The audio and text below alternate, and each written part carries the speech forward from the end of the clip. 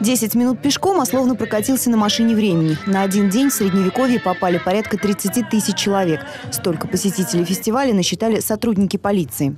В этом году территория фестиваля разделена на две площадки. Современную, с выставочным шатром и реконструкцией архитектурных элементов средневекового укека. И историческую, где, собственно, и происходит все самое интересное. Воссоздается быт жителей одного из крупнейших золотоордынских городов.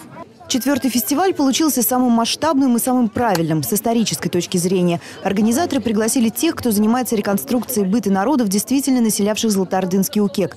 Только монголы и русские. Жадные, скаидные люди.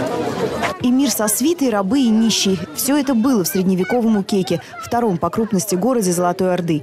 Фестиваль основывается на тех знаниях, которые ученые получили благодаря археологическим раскопкам. Вот так вполне мог выглядеть портал в доме зажиточного укекца. А где-нибудь в городе наверняка стоял фонтан. Этот изготовлен по материалам раскопок в Крыму. Oh, it's very interesting for me.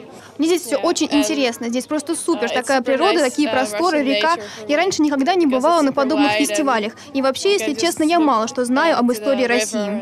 Все нравится. Очень э, аутентичная обстановка, очень много интересных, я думаю, что для посетителей новых э, новой информации, новых открытий по поводу того, как жили наши предки на этой земле непосредственно. Офигенно, э, очень хорошие. Первый раз с мечом, много весит. Ну, очень классное ощущение.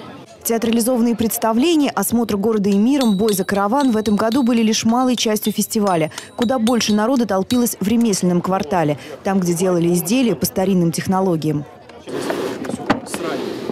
Внутри горно больше тысячи градусов, снаружи всего 800. Стеклодув из Москвы Егор Стратович говорит, за 8 столетий изменились только инструменты.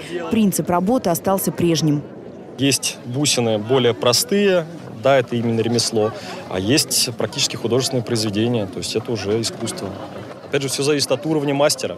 На приглашение организаторов откликнулись около сотни реконструкторов из Москвы, Санкт-Петербурга, Великого Новгорода. А для саратовцев фестиваль стал местом, где можно провести время с семьей, с удовольствием и с пользой. Анна Головчинская, Александр Кравченко. Новости. Телеобъектив.